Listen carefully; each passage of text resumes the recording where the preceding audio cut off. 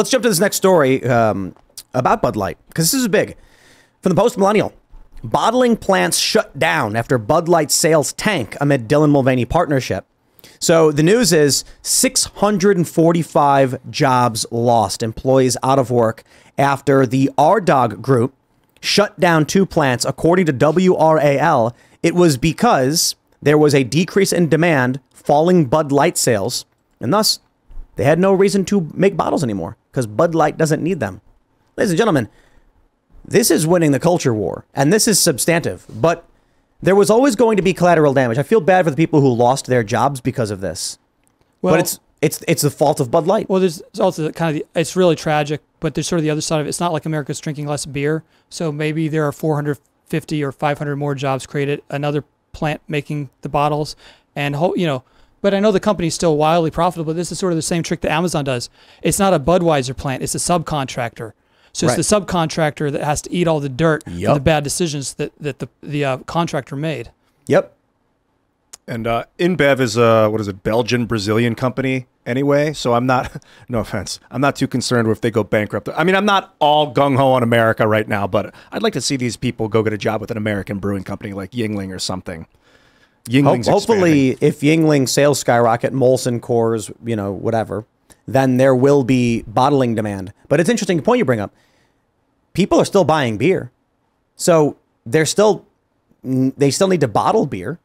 So what's happening? These other these other uh, bottling plants are doubling their workload, and these people are getting laid off. Not really a great situation, but I, I just want to say like this is actually a sign of permanent economic damage to a brand that decided to get woke. The damage to the brand probably can't be overstated. Can't be undone either. No. Uh, You could also get a job with Ultra Right beer. I'm not sure if Conservative Dad's Ultra Right is hiring at the moment, but I'm sure they will be soon. I just drank Well- like six of those. Over the I last imagine the place that that, lot of beer. that, Yeah, that it's lost the 500 jobs. I imagine that is probably not strategically located near another place where these people can just transfer over to another brew, uh, another bottle. You know what's saddest about this is that uh, these people lost their jobs. Some are probably not going to be able to afford their mortgages. It's going to cost them their marriages, cost them their children, cost them everything.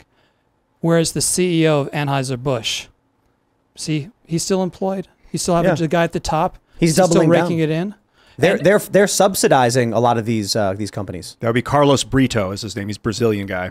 they did can the CEO of the Anheuser. woman that uh, was. Oh no, not Yeah, but do you think- they, they they're denying it, but it's been reported that her the the woman uh, and the the guy have been like two people were removed. Well, you know they got a fat severance package. They're not out on the street. They're not like well- these, these blue collar people in North Carolina. Well, no, no. I- I will official, officially, I, here's what I think happened. Officially, they're not fired. They're on leave, but uh, literally, according to sources in the company, they're considered completely severed from the company. The reason they're not firing them is because Anheuser Busch fears reta- a lawsuit. They, they, they fear that they'll get sued, some labor dispute. So by putting them on an indefinite leave and saying nothing, they can get rid of them. They're fired effectively, but officially they're not fired. But they're also going to become folk heroes on the left. They're going to get a well-paid job with the uh, any number of left-wing groups that are supportive of what they did. So they're going to land very well. I don't have any doubt. Maybe, but the left is clearly losing. I I mean, re- remarkably. I mean, this is catastrophic. I think virtue signaling loses, and it especially loses in business, man. When you're all you care about is making a profit, nobody cares what you think. Yeah, but who's bearing the? I, I get it, and I guess companies are now a lot more cautious about doing anything woke, right? But look at what happened here, and look who actually paid the price. These blue collar workers who probably vote the way we like them to vote, who are good, loyal Americans. They're the ones out of their job. The people who are responsible for the decision, they're getting golden parachutes. They're going to get go work for GLAAD, one of the left wing homosexual groups or something. They're going to do great. They should have quit when this happened. So, when the controversy started and you saw sales declining and the stock was tanking, you've had three months to find a different job. You mean the bottling factory Yep. people? I don't know if it's as easy for them as we might. I, Didn't say I- it was I- I- easy. not Didn't say it was easy, but I get it. I you can you, see the storm coming. And I'm sorry, I'm not happy these people are losing their jobs. However, I am not going to stand in support of people who are propping up what Bud Light was doing. I don't think they even had any awareness of it. They're just they're just shift workers who probably didn't barely finish high school, if anything like that. I don't think they had. These are pure civil. Like there are people who know better. If that's true, equal. I have less sympathy for them. The idea that you okay, look, what Bud Light was doing with Dylan Mulvaney, I believe, is the banality of evil. The algorithm is propping up this Borat like character that is insulting to most people, and you working at these factories and supporting Bud Light are, effect, are, are one of the individuals holding up that machine, engaging in the banality of evil. I don't blame people for not knowing because people try to do good. And you know, we, we try to inform them, but I'm not going to shed a tear if there is an evil organization doing evil things, you are helping them. And then, like, if, if, if, if you're the henchman for a supervillain and you get fired because the villain's been arrested, I'm not going to be like, oh, that's really sad he's out of job. I'll be like, good, less henchmen for the villain. I, I just don't think you can hold somebody with like a 90 IQ who's doing everything they can within the law to raise their family and has no, doesn't have the capability of seeing what you and I can see because we're in this world. I just they're just innocent civilians that got caught up in this. I, I, I, disagree. They are components of a machine that is engaging in cultural destruction, decay, and the banality of evil. The only reason I, I- don't blame them as individuals for marching in lockstep with an evil machine, but if we're going to stop the cultural degradation, they have to lose their well, jobs. but the t- but the people who made the decisions are not punished at all, and they're just going to go on to the next company and do it again. the the people at the bottom are holding this machine up. I do not believe the goal is to intentionally hurt the regular workers. But even if you wanted to punish them, there's no amount of punishment that's going to make them understand what they need to understand to fix this. then we're in agreement. The only thing you can do is dismantle the machine, and that means the people at the bottom are going to lose their jobs first. There's nothing else you can do. You're not you're never going to get even if they fire the CEO, you're talking about cutting off the head of a hydra, two more grow back in its place. These individual workers at the bottling plants that are producing Bud Light and selling it are generating the profits for an evil machine. But you could they're seize all the company with the government and then strip no the way. But- but corporation. these- they're so I mean, that's easily one replaced. tactic. I mean, they're just so easily replaced. good If they decide, oh, we're all going to quit, let's just move the plant to Mexico or something like that. It's the next thing. It's the people. but that's the- not what happened. The demand dropped so much the plants don't exist anymore, which is a good the, outcome. the demand shifted to another brand somewhere else, which may or may not be in the United States. I get. We're probably Yeah. not going to agree on this. I think the enemy is the, the snakes at the top, and you just you. It's like you can't hold these people. They're. It's not even if you want to hold them accountable. You just can't because they're not capable of being held accountable. and No, they- like, they- look, look, you are correct. The problem is the leadership of Anheuser-Busch. Michael But they have by a the standing army in front of them blocking you from putting in, from stopping the evil practices. Well, I, th- I think we we succeeded in a way because look, these guys are going to not make as much money as they would have otherwise. Two people who are pretty high profile kind of lost their jobs and going to have a tough time of it. So they, and we can see the effect is because all these companies that were so eager to celebrate Pride Month, you know, regardless of what you think of it, they kind of toned it down a little, and some other companies sort of backed off some of the woke stuff. Target, Yeah, they, they backed. So to me, the the profits for the people at the top getting cut is really all they care about. So if you can hit that, that's kind of how you adjust the culture. But that is the collateral damage that will trickle down and hit the bottom workers. Well, there's a reason it's called collateral damage. Right. So, so my point is, I want these people to find jobs. I don't blame them for the actions of the organization, but it is a good thing there that these jobs were lost.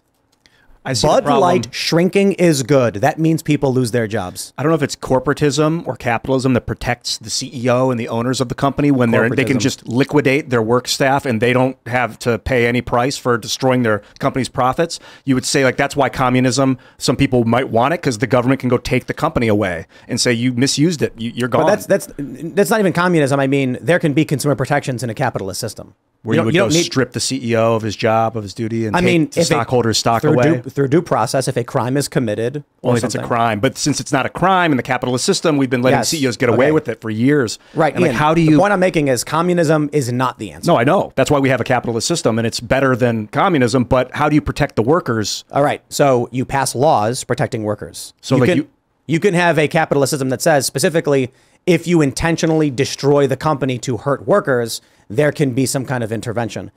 The, the, it's not absolute. There's not either capitalism or communism, or uh, communism is not the right word for it because it's political. It's not either capitalism or socialism. There's varying degrees. State controlled, yeah, whatever. So having having some protection, I think that some protections are, are, are a good thing. But but ultimately, my point here is, what did anyone think was going to happen?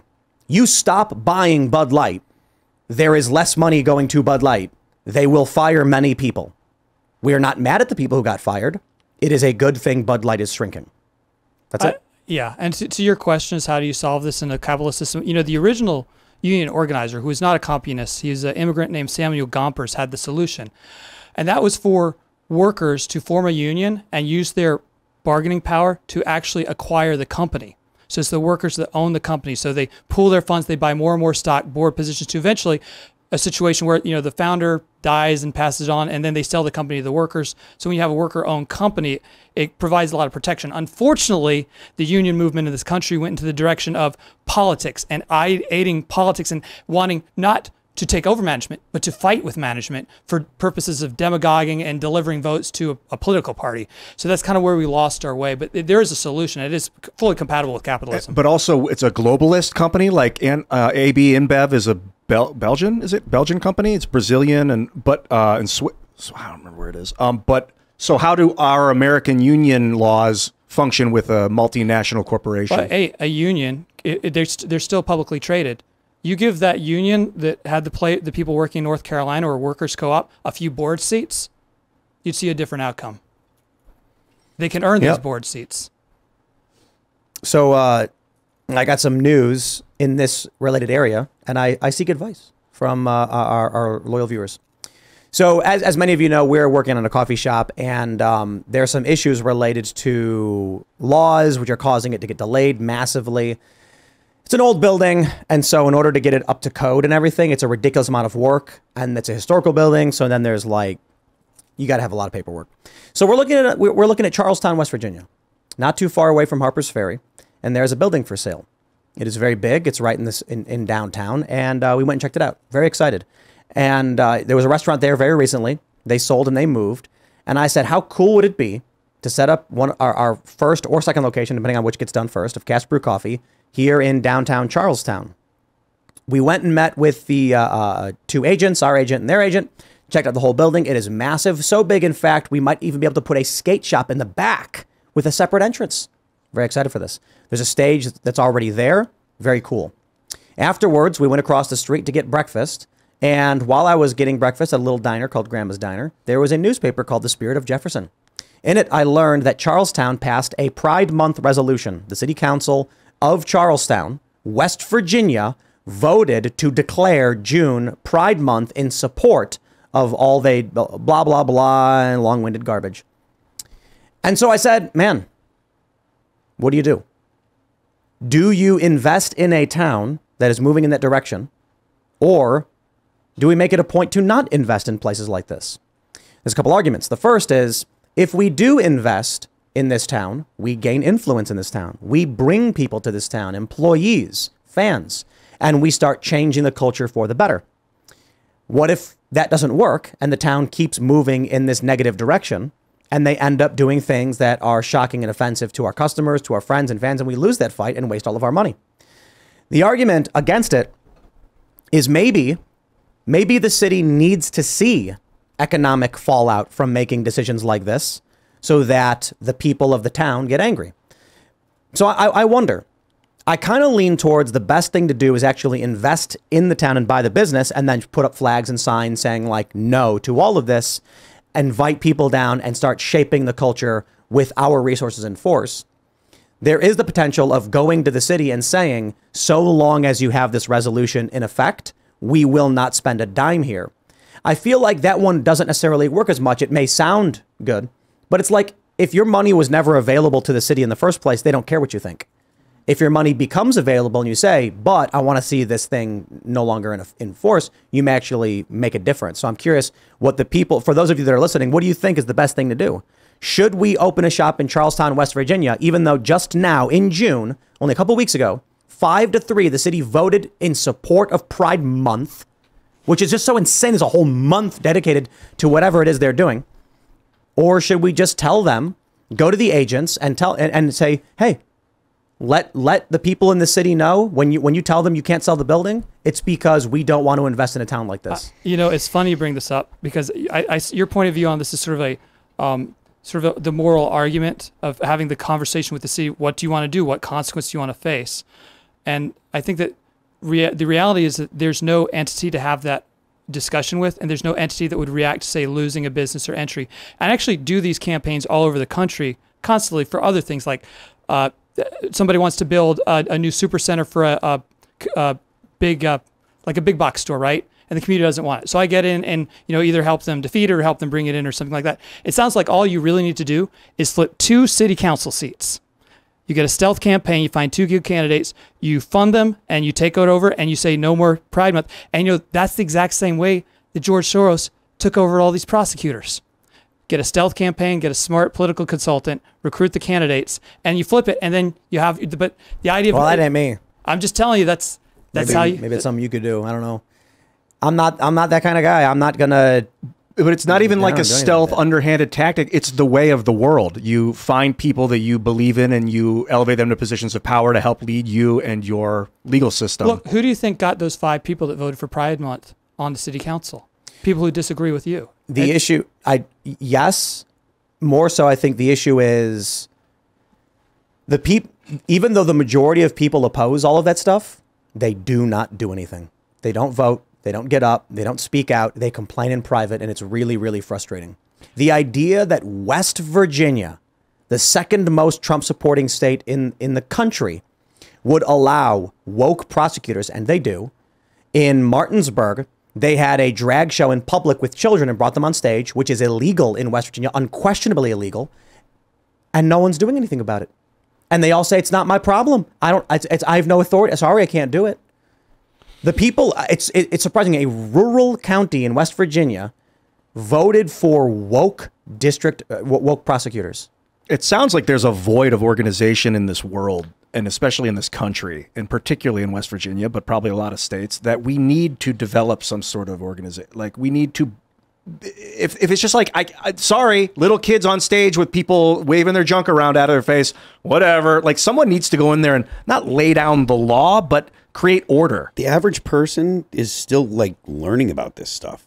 Like most people don't really have a, a deep knowledge about things like queer theory, and then you've got But a you- but- whole. well, Go ahead. well, you've then you've got like the whole like half of the the country feeding a narrative that this isn't about trying to abuse kids. You got the whole media establishment trying to convince people that this isn't about trying to indoctrinate kids into a political mindset. But you don't need to understand anything about queer theory to be like, hey, that child on stage taking his clothes off for money is a very bad thing. Well, look, the reason this is advanced as far as it has is because the left is well funded and well organized. Flipping these back the other way, Martinsville, Martinsville or Martinsburg? Martinsburg. Martinsburg, even Charleston, West Virginia. It wasn't like eight- Charlestown. Charles, Charlestown. Yeah. Uh, it's not. It wasn't an eight to one vote. It was a five to three. That means, look, if we can just get the right people informed and turn out to vote, and it's not that hard. It just takes organization, a little bit of funding, and it it's not that hard. Well, I, I was like, you know, I was talking to the agent, saying like, I, I'm not sure it's it's a good idea to invest in a town that wants to go the direction of Bud Light. Clearly, we are seeing a major backlash to what Bud Light, Target, Starbucks, and these other companies have done to the tune of tens of billions of dollars. And I'm supposed to invest my money and start my business in a town that's going that same direction? Well, here's the problem, though. Eventually, you're going to run out of places to escape from. Mm-hmm. So you have to pick That's a place it. to make your stand and fight. And you know, th- this is a place where I think uh, an ent- if somebody as smart as you could come in and apply the right pressure and become part of that community. I think you could flip it. You, and you, you The- may the- just be the person that could do The it. degree of pressure I would exert is talking about it on this show, having events at our coffee shop with comedians, putting up flags in the window or something. that may be all it takes to find the additional community organizers to go out and go hit doors and explain it because most of the voters who even voted for the five people they probably didn't even know that they voted that way Thanks for watching this clip from the Timcast IRL podcast. Hang out with us live Monday through Friday at 8 p.m. and become a member over at timcast.com for uncensored, members only shows exclusive. Thanks for hanging out, and we'll see you all next time.